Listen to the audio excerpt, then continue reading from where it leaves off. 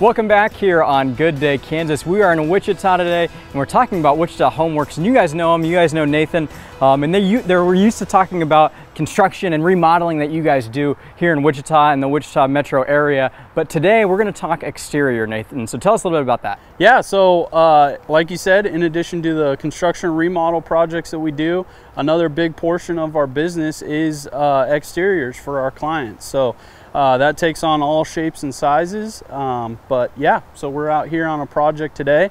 So this guy right here that we have with us uh, today uh, is Sean Delmar. So he is actually running our exteriors division now. We're looking to expand a little bit more. We've had a lot of demand for it.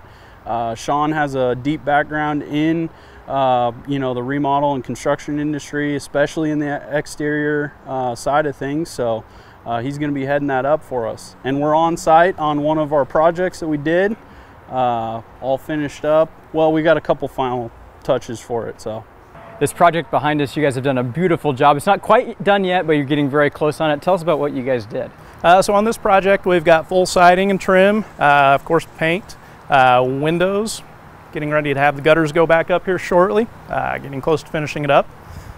And maybe something that people don't know is they should probably get their exterior done before the winter comes, correct? Yes, absolutely. Yeah, we like to get those kind of buttoned up before the cold weather moves in. You have that cold air coming inside. If there's any leaks, uh, take care of any rot before it continues to spread any farther throughout the house. And Wichita Homeworks is a great place to work. And currently you guys are hiring right now. Yeah, absolutely. Uh, we're, we're pretty much always looking for skilled carpenters. Uh, right now we do have some spots available. Uh, so yeah, if there's anyone qualified out there that's interested, we'd love to visit with them. So Nathan, if someone wants to learn more information about Wichita Homeworks, how can they do that? Yeah, best way is to give us a call at 316-303-4485 or you can visit us on the web at wichitahomeworks.com.